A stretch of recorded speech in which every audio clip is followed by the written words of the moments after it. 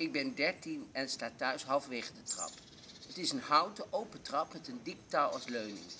Ik laat mezelf naar beneden vallen terwijl ik mijn voet zo buig dat ik met mijn enkel de grond ga raken. Ik probeer mijn been, enkel of knie te breken. Als er maar iets breekt, zodat ik niet naar de gymles hoef. Ik doe poging na poging, maar het lukt niet. Net voor ik de grond raak, vang ik mezelf toch op.